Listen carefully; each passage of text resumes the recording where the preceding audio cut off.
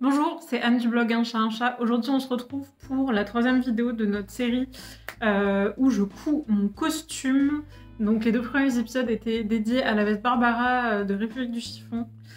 Et euh, donc, la veste est terminée. Aujourd'hui, je passe à la couture du pantalon. Donc là, j'ai choisi le patron Reg de chez Pauline Alice que je vais coudre avec le même tissu, donc un lin lavé cousette. Et donc, la vidéo du jour va être dédiée à la couture de ce pantalon.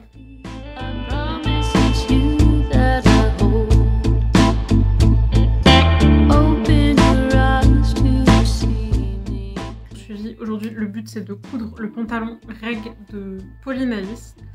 Enfin, aujourd'hui. Ça va être sur plusieurs jours, hein, donc là je voulais juste vous parler de ce que j'ai déjà fait. J'ai déjà découpé le patron à la taille 44, qui est d'après les mesures ma taille. Euh, et j'ai décidé de faire une toile. Donc, j'ai fait une toile, alors avec le tissu que j'utilise tout le temps. Ce tissu là, c'est un rouleau entier que j'ai acheté euh, chez Ikea. Donc c'est le Beaumule, je ne sais pas s'il existe encore. À l'époque, euh, il était vraiment pas cher, c'était genre, euh, je ne sais pas. Donc là, vous voyez, il y avait 7 kg de tissu, 35 mètres. Et j'ai dû le payer 60 euros, c'était un truc genre même pas 2 euros le mètre. C'est voilà, du coton, du coton beige, parfait pour faire les toiles, pour écrire dessus, etc. Je me sers que de ça depuis que je l'ai acheté, donc à il y a deux ans. J'ai encore à peu près de quoi faire. Je sais pas si cette référence existe encore. Mais sinon, ça vaut grave le coup. Enfin, moi, j'avais trouvé le rouleau entier emballé euh, à Ikea, je l'ai juste pris. À la base, je pensais qu'on pouvait que acheter du tissu à la découpe, mais en fait, non. Donc, j'ai décidé de faire une toile. Moi, les pantalons, c'est pas spécialement mon kiff. Je trouve que, bah, en fait, je trouve que c'est pas hyper fun à coudre, hein, mettons par rapport à une robe ou quoi. Niveau tissu, on se fait moins plaisir aussi. Et puis en plus, je trouve qu'à ajuster, c'est euh, un peu la mort. Hein. Franchement, les pantalons, c'est pas ce qu'il y a de pratique.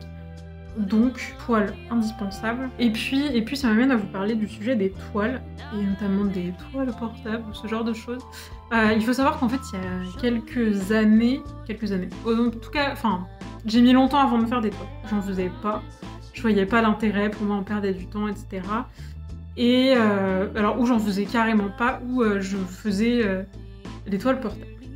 Mais en fait, je trouve que avec le recul maintenant et ma vision de la couture qui a peut-être un peu changé, je comprends pas, enfin je ne vois pas l'intérêt de faire une toile portable. En fait, c'est où tu fais une toile, et une toile c'est vite fait, enfin pour moi une toile ça prend, allez, entre le découpage du tissu et coudre, enfin je n'ai jamais fait une toile qui a pris plus d'un quart d'heure. Parce que le but, c'est pas d'aller dans le détail, c'est voir si la, forme du vêtement va, si la taille du vêtement va. Donc là, typiquement, pour le pantalon, je vais vous montrer. Euh, je vais pas m'amuser à découper le, tout le pantalon. J'ai fait une version, euh, je sais pas, ça va faire Bermuda, quoi. Mais clairement, j'ai pas découpé les poches. Euh, j'ai découpé le devant, le dos, les ceintures. Basta, et ça suffit. Et quand je fais une blouse, ben, je fais le devant, le dos et une manche. En général, je fais ça, je fais pas les parmentures, je fais pas là. Le but, c'est d'avoir un truc on peut l'enfiler et on se dit ça va ou ça va pas, il y a tels ajustements à faire, je peux les faire dessus directement en écrivant dessus par exemple, etc., en épinglant, et je me m'en soucie pas. Pour moi, faire une toile portable, ça revient à se dire, bah en gros, euh, je vais quand même me casser le cul à faire un truc à peu près bien pour pouvoir le porter, et si c'est bien, tant mieux, si c'est pas bien, ben tant pis. Mais en gros, on part du principe qu'on va faire un truc bof, qu'on va avoir un résultat bof et qu'on est ok avec ça. Enfin, moi, je suis désolée. Enfin, si je me fais chier à coudre pendant deux heures, euh, je veux pas que le résultat il soit juste bof. Enfin, je, je m'amuse pas à coudre pour avoir un résultat moyen. Je veux un truc bien ou un truc. Euh, enfin, ou un truc que dans tous les cas je ne porterai pas parce que ce n'est qu'une toile. Mais avoir un truc où dès le début, en gros, on part avec l'idée de se dire ouais, si c'est moyen, ce sera bien, me dépasse maintenant, je pense, parce que j'ai pas assez de temps pour coudre. quand je couds un truc, je veux que ce soit bien. Et voilà. Et du coup, je pense que le concept effectivement de toile portable euh, est mais un, devenu euh, pas étranger. En tout cas, j'ai plus de mal à le comprendre maintenant où je me dis, bah ouais, vraiment, euh, c'est. Je préfère prendre mon temps, faire une vraie toile, ça prend 15 minutes, mais j'ai un truc nickel. Parce que sinon, ça veut dire quoi? Faire une toile portable, vous prenez un tissu que vous aimez un petit peu, mais pas trop, pas tant que ça. parce que sinon, en gros, vous allez sacrifier un tissu que vous aimez bien pour faire un projet dans l'espoir que ça marche. Donc en fait, un tissu qu'on n'aime pas trop, un patron euh, qu'on sait pas trop ce que ça donne. Enfin, mais moi déjà des tissus que j'aime pas trop, je les coupe pas quoi. Donc euh, je les achète pas non plus. Enfin voilà, donc euh, c'était ma parenthèse sur les toiles portables. Maintenant je vais donc aller coudre cette toile. Alors on se retrouve le lendemain, j'ai cousu ma toile en 44. C'est un échec total, c'est bien trop petit. En fait au niveau du dos c'est bien, mais au niveau du ventre, moi j'ai beaucoup de ventre. Voilà, je pense que c'est là où stocker les réserves mondiales de graisse. Et du coup, le ventre, c'est une catastrophe. Donc je vais essayer de vous montrer. C'est pas hyper facile parce que je suis en avec mon téléphone et je n'ai pas de trépied, euh, ce qui aurait été plus commode. Mais je vais vous montrer à quoi ça ressemble dans un miroir. Hop. Bon, alors je pense que ça parle, ça parle de soi-même. Il euh, il manque au moins 4 cm de tissu. Donc j'ai un espèce de cycliste en dessous. Voilà, comme ça, vous voyez pas euh, ma culotte ou quoi. Donc là, bah, je pense qu'on voit bien, hein, c'est bien trop serré, les plis, euh, ça parle, ça parle de même. Alors ce qui est dommage, c'est que le dos est plutôt pas mal, même s'il y a quand même aussi un peu de plis. Donc voilà, donc ce n'est pas, ce n'est pas bon. Après, euh, voilà, si je rentre le ventre, c'est rattrapable, mais c'est pas viable au long terme. Et, euh, euh, là, ce qui est ennuyeux, c'est que du coup, je n'avais pas décalqué patron, j'avais découpé direct en me disant 44, franchement, ça passe. Et eh ben, ça ne passe pas du tout. Voilà. Alors, on se retrouve euh, après la couture de ma toile que vous avez pu voir pour certaines sur Instagram et je crois que ça a beaucoup fait rire. donc, j'ai fait une première toile beaucoup trop petite. Clairement, il me manque. Euh, en fait, je peux. Les côtés, ça va à peu près. Je peux la fermer en haut, mais euh, j'ai du ventre. C'est un fait depuis toujours, je crois. Euh, et du coup, ben, le, ce qui est problématique, c'est quand on prend ses mesures pour un pantalon, on prend sa, ses mesures un peu au plus large au niveau des fesses et au niveau de la taille. Le problème, c'est que quand on a du ventre, c'est entre les deux, et du coup, ce n'est pas pris en compte. Et les pantalons surdesignés pour euh, les gens qui ont le ventre plat. Qui sont-ils Où sont-ils Je ne sais pas. Que mangent-ils surtout et, et, voilà, donc moi j'ai le ventre plat jamais, hein. même quand je me lève j'ai pas le ventre plat, donc euh, voilà j'ai toujours l'air euh, perpétuellement enceinte depuis, je sais pas, mes 16 ans. Donc j'ai fait une première tentative qui est de déplacer, enfin à, à, partir de cette toile donc j'ai fait en 44, de réduire les marges de couture. Donc chez Pauline les marges de couture sont à peu près, enfin sont de 1 cm 5. Donc là, j'ai euh, défait mes coutures des côtés et j'ai refait des coutures à 0,5. Donc ce qui colle à peu près à la taille 46. Du coup, en gros, j'ai réessayé, c'est mieux, mais au niveau du ventre, c'est toujours pas ça. J'ai comparé avec le pantalon de référence qui est un peu mon inspi pour euh, ce, look, pour le costume, qui est un pantalon du commerce, un pantalon Uniqlo. Hein. J'ai comparé donc la version modifiée de ma toile, donc j'assimile à du 46, avec ce pantalon. Au niveau de la ceinture, on est vraiment sur la même taille. Mais la principale différence, c'est que le pantalon Uniqlo que j'ai a des plis à l'avant. alors, bah, forcément, c'est pas forcément très joli un pantalon avec des plis. Non, on veut que les plis euh, tombent droit jusqu'en bas. Euh, moi, ce n'est pas possible car euh, les plis me servent à mettre mon ventre.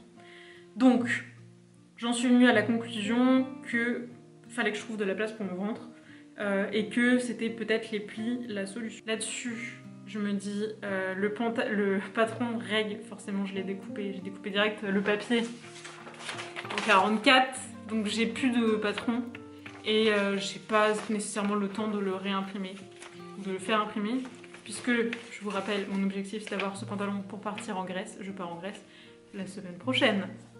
Voilà, donc je vais pas m'embêter. Je suis passée à ce que j'appellerais le plan B. Et le plan B, c'est un autre pantalon euh, de Polinalis, qui est le pantalon Sorel. C'est un pantalon... Euh, en fait, c'est assez drôle parce que, pour ceux qui le savent, peut-être qu'il y en a qui ne le savent pas, j'ai été stagiaire de Polinalis en 2015. Donc ça nous rajeunit pas tout ça. Euh, mais à l'époque où j'étais la stagiaire de Pauline, elle a sorti ce pantalon. Donc euh, c'est marrant, enfin ça colle vraiment euh, au moment où j'étais là-bas, où j'ai passé plusieurs mois à Valence. Et j'ai cousu ce pantalon, j'ai même cousu une version short, je vous mettrai peut-être des photos ici de mes œuvres. et bah voilà, je me suis dit, il y a ce pantalon là, ce pantalon là c'est un peu le même look, donc c'est une taille haute avec des jambes larges, mais avec des plis. Et là, tout est prévu.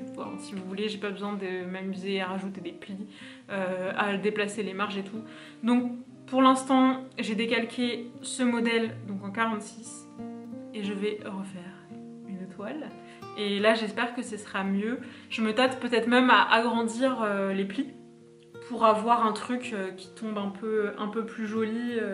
Bah, comme je vous disais, rapport au fait que j'ai du ventre. Effectivement, quand on a Quand on a un pantalon à pli et que le pli est complètement ouvert, c'est pas forcément le plus élégant. Je me dis peut-être que si j'ajoute un centimètre, ça fera genre un vrai pli. Euh, à voir, donc euh, j'en suis là pour l'instant. Et, ben j'ai découpé. Euh, alors cette fois, j'ai pas découpé la planche de patron. Hein, voilà. Parce que. Ben, je, n'ai pas que ça à faire. Après, j'ai pas, pas d'autres pantalons, d'autres patrons de pantalons larges à utiliser. Donc là, j'ai décalqué ce. Euh, et je vais, euh, je vais découper ma toile et couper ma toile et je pense que ce sera mon programme de ce soir. Coucou, c'est Anne, on se retrouve le lendemain d'avoir fait euh, la toile du Sorel que je viens de vous montrer, ou que je vous montre maintenant. Pour résumer la situation, c'est beaucoup mieux c'est beaucoup mieux. Disons que la braguette se ferme, donc c'est beaucoup mieux. À côté de ça, c'est pas non plus le fit le mieux de l'univers. Et euh, j'avoue que je suis un peu contrariée par ça. J'ai envie d'essayer de faire un truc bien. Et je me suis dit, allez, dernière chance. Au pire, euh, je ferai, je ferai le sorel comme ça. C'est pas très grave, je me débrouille. mais, sait-on jamais, je vais essayer un dernier truc qui m'a été envoyé par Pauline et par l'une d'entre vous, qui est un ajustement, enfin un type d'ajustement pour les pantalons, qui s'appelle... C'est toute une méthode, hein. c'est pas vraiment un ajustement euh, où on se dit ah bah voilà, euh, en gros là j'ai des plis qui ont euh, cette forme là, du coup c'est ça qu'il faut faire. Ou j'ai des plis qui sont comme ça, c'est ça qu'il faut faire. Là c'est vraiment on part limite de zéro. Et donc c'est... Voilà, forcément je deviens bigou maintenant. C'est une méthode qui s'appelle Top Down Center Out. Donc il y a des vidéos, tout est expliqué sur internet, hein. il y a plusieurs vidéos, je crois que, je sais pas, il y en a au moins 10, euh, sur le fonctionnement de la méthode. Donc le concept en fait c'est de... Euh, j'ai fait ça hier, extrêmement motivée hier soir. j'ai tout préparé mais je n'ai pas fait les ajustements pour l'instant. Le concept c'est de partir de la ceinture que vous voyez là, donc là c'est la ceinture du Sorel. On part de la ceinture, on la met sur soi, on coud une jambe qui est, est là-bas, la montre. Hop, on coud une jambe en laissant euh, bah, vachement de marge sur les côtés en fait et en haut pour faire des ajustements. Donc là vous voyez peut-être les marges parce qu'elles sont visibles, je les ai dessinées au stylo. Donc là vous laissez 2 cm et demi sur le côté et 5 cm en haut.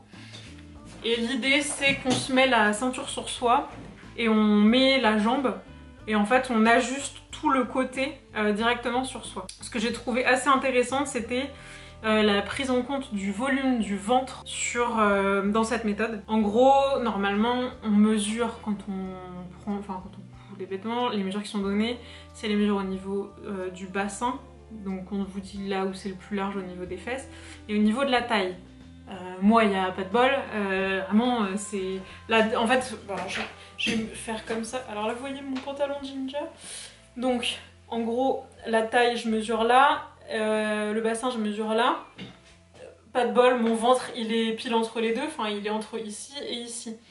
Donc, ce qu'ils disent, c'est que quand on mesure, en fait, le bassin, au lieu de prendre ici, donc moi, ça revient dans le creux, faut considérer que le ventre, c'est droit, si vous voulez. Comme si... Alors, attendez, je vais prendre une règle. Je ne sais pas si mes explications vont être super claires, mais je fais ce que je peux. Donc en gros, il faut considérer que, je vais mettre devant un truc vert, en gros, euh, mon tour de fesse, mon tour de, bassin qui passe ici, bah il arrive là en fait. Il se rétrécit pas ici. Il passe comme ça. Donc ce qui fait pour moi une taille, euh, bah en fait j'ai décalqué la plus grande taille du patron, clairement j'ai décalqué du 48. Euh, sachant qu'en en pantalon du commerce, hein, j'entends, euh, en général je pense que je fais entre du 42 et du 44. Donc là je me retrouve à faire du 48. C'est bien Non je rigole, je vis pas du tout bien, mais enfin bon, de toute façon c'est le concept de l'ajustement. L'idée étant voilà, de prendre en compte ce... qu'il faut de la place pour mettre son ventre et que comme ça on a plus de place. Donc ce qui reste à faire maintenant, c'est se mettre la ceinture sur soi. Et après, euh, mettre la jambe et essayer de trouver le meilleur ajustement en hauteur et en, euh, et en largeur, quoi. Pour que ça, ça, ait le plus beau, euh, le plus joli rendu. Donc je vais essayer de faire ça. Et j'espère vraiment que ce sera concluant, parce que clairement j'en ai plein le cul. je ne referai pas une toile. Et je pense que si ça marche pas, je vais un peu abandonner cette sorte de pantalon pour l'instant et je m'en occuperai à l'été prochain. Et la vidéo s'achèvera ici sur un énorme échec, ce qui serait très triste. Mais, mais voilà, en moment, je pars en vacances la semaine prochaine, j'ai pas non plus envie d'y passer tout mon week-end. Euh, parce que j'ai autre chose à faire. Et puis la semaine prochaine, il faudra que je fasse ma valise. J'ai plein de boulot aussi. Donc euh, voilà. Si là, j'arrive à faire une toile qui ressemble à quelque chose, avec des ajustements qui ressemblent à quelque chose, c'est très bien. Si ça marche pas, j'ai décidé que je ne me prenais pas la tête et que euh, la mission serait avortée. Voilà. Et bah, je pense que je vous ai tout dit. J'espère que c'était à peu près clair, euh, cette histoire, de tour euh, de, de hanche révisée. Et puis, de toute façon, je vous mettrai les, vidéos euh, dans, la, barre d'infos. Et puis, bah, allons-y, hein. je vais, m'enfiler un petit cycliste euh, et puis on va faire ça. J'espère que ça va marcher. Mais j'espère que, franchement, les dieux de la couture vont être avec moi. J'ai quand même mis là vraiment de, la, bonne volonté. Genre, j'ai fait deux toiles, la, la troisième toile avec une méthode innovante d'ajustement. J'aurai un peu le seum si ça foire. Tout petit. Alors, je vous montre, je filmerai peut-être mieux après en posant mon, mon trépied. Je vous montre ce que ça donne. Donc en fait, il faut épingler la jambe sur soi. Enfin, on peut jouer hein, évidemment avec toutes les marges qu'on a rajoutées. Et on épingle sur soi quand on a un rendu qui euh, nous satisfait et entre guillemets euh, ressemble au patron. Parce que c'est quand même ça un peu le but. Euh, en alignant bien surtout la fourche milieu devant et la fourche milieu dos. Donc moi voilà, donc là en gros j'ai ça en, rab sur le côté. Euh, mais là du coup on voit il y a euh, aucun, aucun pli disgracieux au niveau du ventre ou de la fourche. Donc bah, c'est assez bluffant, enfin, faut le dire quand même. Et euh, de dos ça rend vraiment pas mal aussi. Donc là bon je vous montre comment ça rend. Voilà, bon là on a le pli. Donc là c'est euh, le ras parce que j'ai ajusté du coup. Donc euh, j'ai, j'ai, je pense que, je sais pas si ça se voit. euh, Ouais, je facile. Là, je pense que avoir 6 cm en bas et puis là 5 et vers 4 en Donc voilà ce que ça donne. Hop, de côté, c'est pareil, il n'y a pas de pli, de pli disgracieux, si ce n'est mon double menton. Ah. Et je vais vous poser pour essayer de vous montrer euh, le dos. J'ai ouvert les volets, vous allez peut-être un petit peu mieux voir. Après, je suis d'accord, il y a plein de trucs, enfin, il y a du papier peint derrière, c'est pas la meilleure vue. Euh, voilà, en tout cas, je vous le montre comme ça. Il faut pas se retourner, sinon ça fausse un peu le, truc. Voilà. Voilà. Bah, sous cet angle-là, par mon ventre, vous voyez rien. Hop. Et donc, euh, donc bon. Si vous regardez euh, le tuto de la méthode, elle montre un peu comment on peut jouer avec l'avant l'arrière pour réussir à du coup avoir le meilleur fit possible, ne pas avoir de plis. Euh, moi je suis désolée, je l'ai pas fait en même temps que je filmais parce que, que j'ai besoin de mes deux mains déjà. c'est pas facile, hein. franchement j'y ai passé bien 10 minutes je pense. Et puis euh, on peut pas épingler tout de suite, quand on a fini le devant, dès qu'on bouge un truc du dos ça change tout. Là il y a quand même des trucs où je suis pas trop sûre parce que j'ai... La fourche est assez... j'arrive pas à tenir le truc à hauteur qui colle. Euh, la fourche est assez basse, euh, c'est-à-dire qu'il y a, je dois avoir 2 cm et demi, 3 cm de marge, mais je sais pas si c'est vraiment normal ou pas, ou est-ce qu'il faut plus, ou est-ce qu'il faut moins. Enfin moi je sais pas, je porte des jeans la journée, donc vraiment avec un jean la fourche il n'y a pas de marge quoi. Enfin on l'a à l'entrejambe vraiment. Euh, que là, euh, ben c'est ça qui rend le meilleur, euh, le meilleur rendu devant, avec l'entrejambe un peu descendue. Donc je ne sais pas si je laisse comme ça ou pas. Là, je, ne sais pas trop qu'est-ce que je dois faire. Donc pour l'instant, bah déjà en plus, je ne sais pas non plus comment me désarnacher de, mon truc. Hein. Parce qu'il faut le laisser attaché pour pouvoir reporter après les, les mesures. Mais en fait, ah bah, j'ai pas regardé les vidéos jusque-là. J'ai regardé les vidéos jusqu'à ajuster. Euh, ça c'est fait. Mais après, reporter les modifications, ça je l'ai pas regardé et euh, c'est l'étape d'après. Donc je suis coincée dans mon, ma camisole de force, euh, mes versions pantalon. Ma culotte de chasteté peut-être pour en dire. Enfin bref, je, je sais pas. Je vais essayer de, prendre, de bien tout épingler surtout. Et je pense que je vais le laisser comme ça. Euh, je vous cache pas que j'ai de la chance, c'est que euh, je connais Pauline. Je peux lui envoyer les vidéos pour qu'elle me dise un peu ce qu'elle en pense. Donc euh, c'est ce que j'ai fait, j'ai pris des vidéos, je lui ai montré les essences que j'avais à l'entrejambe. Et puis bon voilà, moi je vais aller faire autre chose pendant ce temps-là, en espérant qu'elle ait le temps de me répondre, ce qui est pas sûr non plus. Et puis, et puis, et puis, bah, sinon j'ai bien envie de partir là-dessus, hein. franchement je trouve que c'est vraiment pas mal. Alors, je vais, euh, vous fais une petite explication de texte de où j'en suis avant de vous montrer parce que sinon ce sera peut-être pas très clair. Donc, euh, je vous ai filmé quelques vidéos où j'essayais donc ma demi-jambe euh, sur moi et je fais l'épinglage. Les étapes d'après, je vous invite à regarder les vidéos si vraiment la méthode d'ajustement vous intéresse. Mais en gros, l'étape d'après, c'est bâtir à la machine ce qu'on a fait en épinglant pour être sûr que c'est bon. Donc là, moi c'est ce que j'ai fait avec euh, plus ou moins de succès. Du coup, il a fallu reprendre un petit peu, notamment au dos. Donc, euh, bon, on est vendredi soir, donc Julien est là, donc il m'a aidé. Et ensuite, là, ce que j'ai fait, une fois que toute la partie bâtie a été à peu près concluante, c'est que j'ai euh, tracé, donc j'ai tout repassé au feutre et surtout après j'ai tout décousu. Voilà.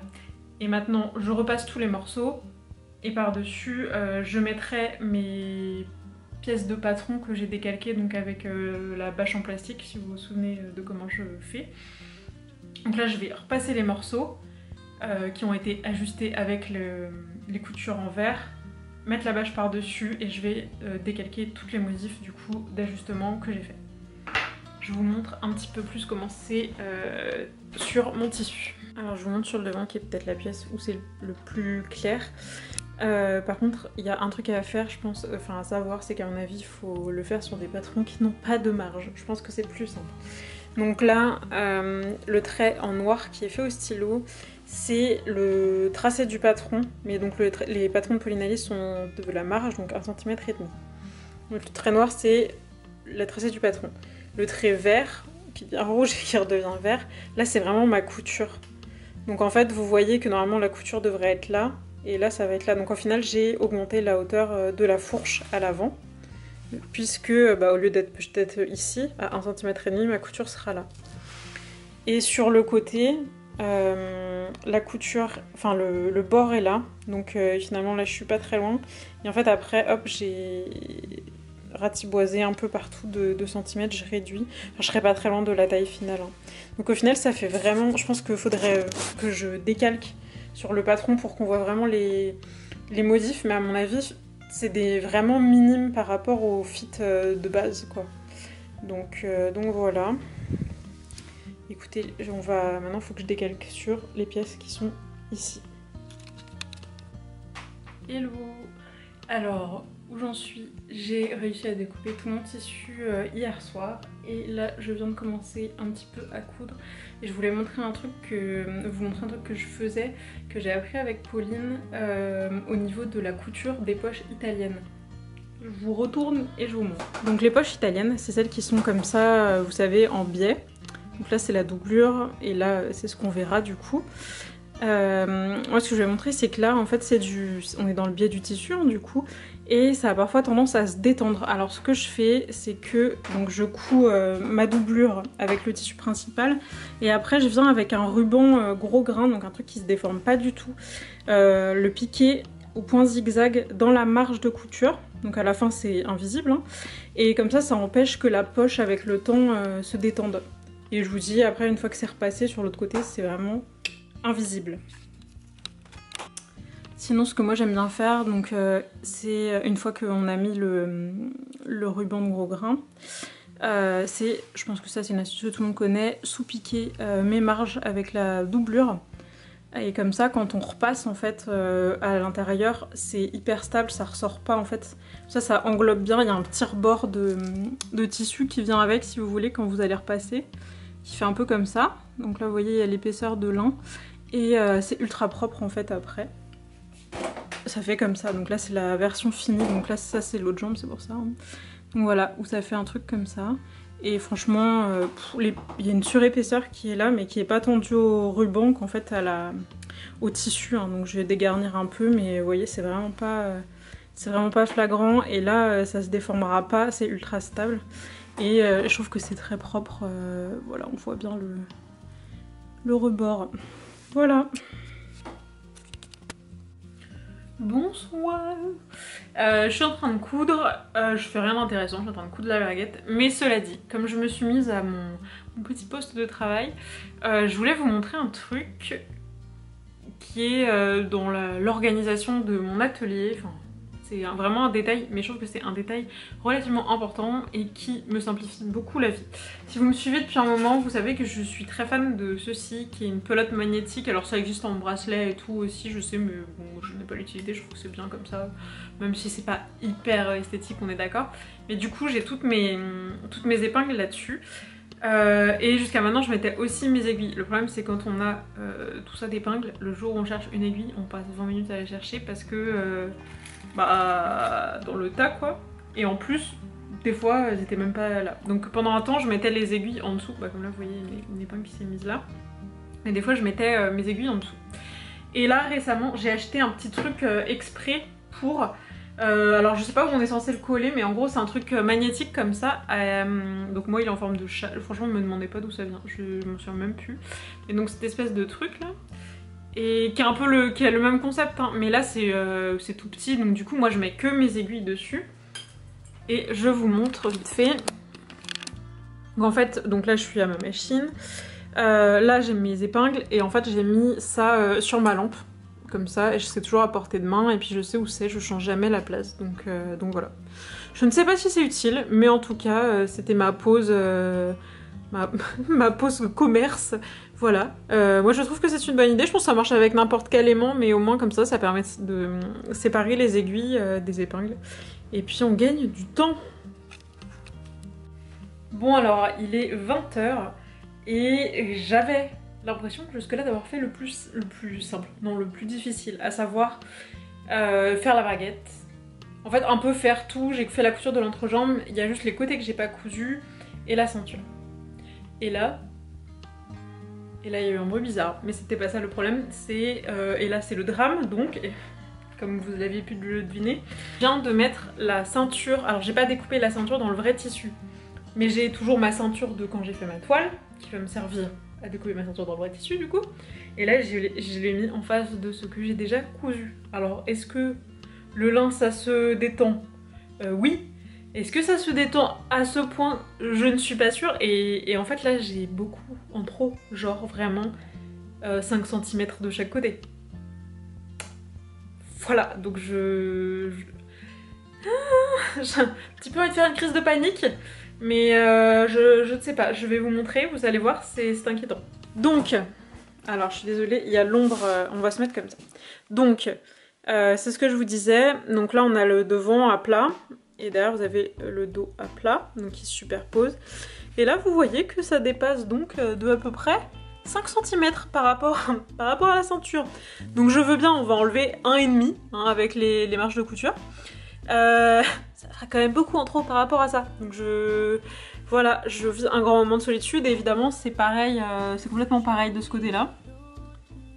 Et je, le vis mal parce que j'ai remis euh, les morceaux que vous voyez là-bas, j'ai remis les morceaux qui m'ont servi à faire ma toile par-dessus et c'est bon donc je pense que c'est parce que le lin ça se détend. Enfin je, je ne vois que ça comme option. Je sais pas quoi faire.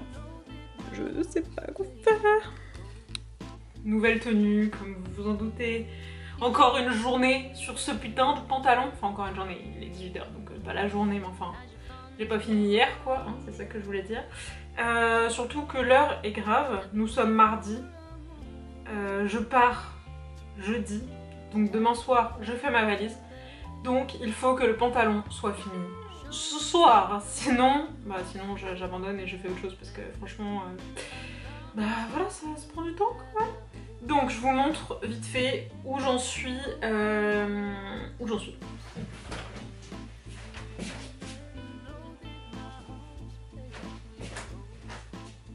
Voilà, c'est marrant, ça paraît euh, gigantesque. Enfin c'est gigantesque, hein, mais voilà. Voilà le pantalon. Donc où j'en suis, j'ai redécalé les coutures des côtés, encore. J'ai tout décousu ce que j'avais hum, cousu en fait, vous savez, j'avais fait au début les coutures à 1 cm, c'était trop grand par rapport à la taille de la ceinture. Donc j'avais fait 2 cm et demi, c'était toujours trop grand, donc j'avais fait 3 cm et là c'était pas mal, mais en fait je me suis dit putain c'est un peu con parce qu'au final ça annule tous les ajustements que j'avais fait. Donc j'ai fait 3 cm en partant du haut, euh, au niveau de la ceinture en fait pour que ça soit bon avec la ceinture. Et j'ai rejoint les marges de couture que j'avais prévues initialement, donc 1 cm et demi et je vais laisser comme ça je pense hein. donc euh, hier il a fallu que je fasse toutes ces coutures puis que je défasse toutes ces coutures Donc là, grosso modo, euh, on en est là. Donc le haut, du coup, je pars d'une marge de couture qui est fait cette taille, si vous voulez. Là, comme ça. 3 cm et qui passe à 1 cm et demi. Donc là, je pense que je vais recouper un petit peu en haut et re-surjeter. Euh, j'ai fait un petit test en épinglant ma ceinture. Alors parce que je sais plus si j'ai filmé ou pas, mais hier donc j'ai voulu euh, découper la ceinture. Enfin je l'ai découpée, je l'ai entoilée. Et, euh, là je me suis rendu compte que... Et enfin faut savoir que j'avais bien pris en compte de rajouter plus 4 cm parce que ça se recouvre, hein. la, ceinture c'est le but. et j'avais prévu 2 cm de marge de couture en plus de chaque côté. En théorie c'était bon et ne me demandez pas comment mais en fait je me suis complètement pinée et quand j'ai fini de coudre, entoiler la ceinture, je l'ai mise autour de moi j'étais là... Mhm. Genre c'est bien si en fait il n'y a pas de marge de couture? Donc franchement je sais pas ce que j'ai branlé mais j'ai merdé. J'ai clairement merdé donc... Euh, ben, si la ceinture m'allait à peine et qu'en plus le pantalon était encore un peu grand quoi, il fallait résorber du je me suis dit mais ça va être une catastrophe. Ça a été un peu les montagnes, euh, les montagnes russes hier euh, émotionnellement. Je sais pas si vous aussi avez des projets comme ça. En fait, je sais pas aussi qui fait ça, enfin je pense qu'on est plein à faire ça, à se dire non mais je finis ça à tout prix avant les vacances et puis en fait le truc ne fait que merde sur merde sur merde parce que à mon avis je pense tu te mets la pression, tu veux te dépêcher, tu veux sortir le truc. Et résultat tout foire. Mais vraiment genre tout foire. Et là moi c'était vraiment ça. Donc euh, j'ai essayé sur moi et ça passe. Euh, mais alors maintenant mes marges de couture c'est plus 0,5 euh, enfin c'est plus 2 cm c'est 0,5 cm quoi. Voilà. Donc de toute façon je vais faire comme ça parce que j'ai pas spécialement envie de refaire toute la ceinture, de, re-entoiler tout. Euh, j'ai une vie à vivre, voilà, j'ai d'autres choses à faire, euh, le ménage, ma valise, des trucs comme ça, des trucs cool. Donc ça passe. Hier j'ai résorbé un peu euh, le surplus de tissu. Bah après j'avoue que le lin aussi ça se détend. Hein. Donc le fait que mon truc il y ait eu une couille à la base, c'était pas les bonnes tailles. Enfin bref. La prochaine fois, enfin le pire, c'est que franchement, j'étais quand même assez convaincue de la méthode d'ajustement. Avant de la mettre en pratique pour de bon. Mais en tout cas, sur la toile, j'étais assez convaincue et j'ai bien envie de le refaire. Euh, peut-être pas sur ce pantalon-là. Peut-être un truc un peu plus simple, genre où il y a une pince devant, une pince dans le dos. Ou je sais pas, enfin en tout cas, je ferai plus attention. Mais, euh, mais c'est vrai que là, j'ai quand même enchaîné les galères. C'est pas très vendeur de la méthode. Mais je pense quand même que c'est une bonne méthode. Je pense que c'est moi le problème et c'est pas toi, c'est moi. Euh, je pense vraiment que c'est ça. Je pense que la méthode est bonne. Enfin, de toute façon, la méthode est bonne. Euh, ça a l'air de marcher. Hein. Enfin, mais même sur moi, au final, le rendu là est bien. Je veux dire, il n'y a pas spécialement de plis bizarres. Euh, je n'ai pas. je passe. Enfin, c'est dans l'ensemble ça marche, mais je pense qu'il y a, je me suis peut-être trop précipitée. J'aurais peut-être dû faire une toile avec les deux jambes et pas juste une jambe comme euh, on est censé faire. Enfin, j'en sais rien, j'ai merdé à des endroits. Euh, voilà, mon but maintenant est de terminer le plus vite possible. Voilà, il est 18h, euh, il est présentement 18h13, je suis l'horloge par contre. Et je... J'ai envie de finir pour 20h. Bon. N'arrivons pas. Euh, ce que je vais faire, c'est faire ce que je peux. Et puis euh, après, je pense que je ferai une petite pause et puis, voilà. À la limite, je veux bien faire que l'ourlet demain. Tout le monde sait que l'ourlet, ça prend vachement de temps, même si on se dit que ça prenait pas de temps. Non, là, je voudrais fixer la... Vraiment bien faire la ceinture. Sachant qu'à mon avis, je vais d'abord la bâtir. S'il y a un truc que m'a appris ce projet, c'est que je bâtis tout et puis je regarde, j'essaye. Euh, peut-être ça va, peut-être ça va pas. Hier j'ai eu un peu peur parce que donc comme je vous disais j'ai bâti pour être sûr que tout, euh, je puisse résorber en fait tout le tissu du pantalon au niveau de la ceinture. Euh, ça faisait un petit peu bizarre dans le dos. Alors je me dis oui bon en même temps c'est pas les marges que je suis censée avoir, soit. Mais ça faisait un espèce de... En gros vous voyez la ceinture était comme ça. Et le tissu faisait un espèce de bourrelet, il y avait un peu trop de tissu par rapport à mes fesses en hauteur, quoi, au niveau de la fourche d'eau, un peu trop de hauteur. Donc euh, je pense que je vais tout bâtir avec un point large, tout essayer. Euh, je suis sûre et certaine que c'est bon. Là, je, Voilà, donc, euh, et puis il y aura les passants à mettre. Et... Après, en soi, il reste pas tant de choses que ça. Hein. Je pense que, j'ai envie de dire, si tout roule, bah si tout roule, tout roule. Ça ira super vite. Voilà, bon, et eh ben je vous laisse, hein. je me suis fait euh, une petite tasse de thé Et puis bah je vais m'y mettre. J'ai l'impression qu'en fait dans cette vidéo j'ai filmé très peu de couture. Je me suis filmée juste en train de faire des points d'étape. Genre euh, oui, alors aujourd'hui c'est la DEP. Je, je sais pas si c'est euh, aussi intéressant, moins intéressant, moins visuel, je n'en sais rien. Je... Voilà. Hmm. Je doute. Je doute de tous mes choix existentiels. Notamment celui de coudre ce tailleur pantalon. Même si on sait qu'à la fin ça vaudra le coup. Hein. Mais là.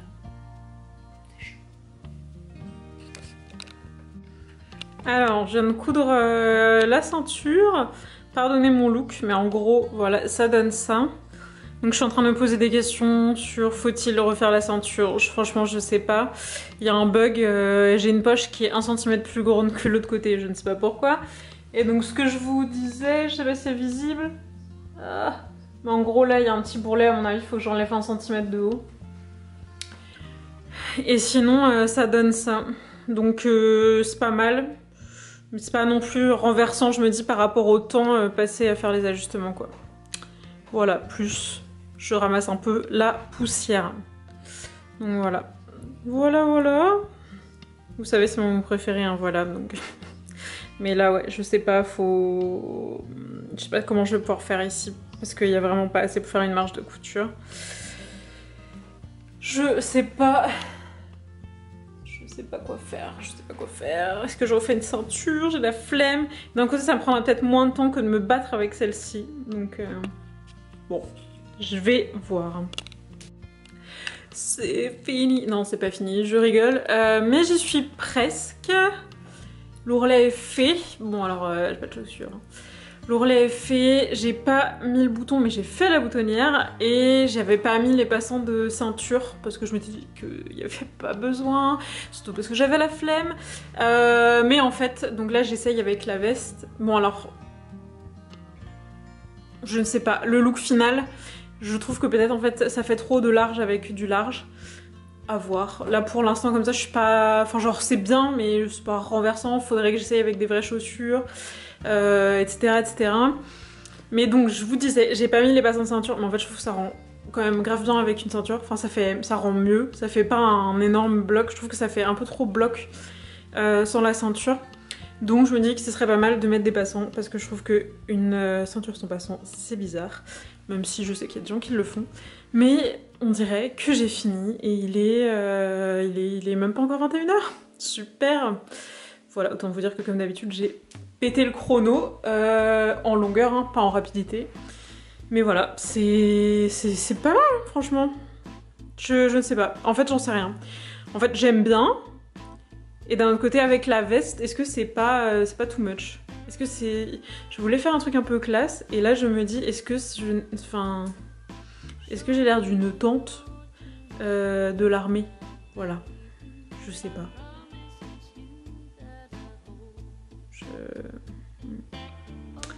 Ouais. Bon, je vais coudre les passants et le bouton. Et puis après, euh, je passerai l'aspirateur.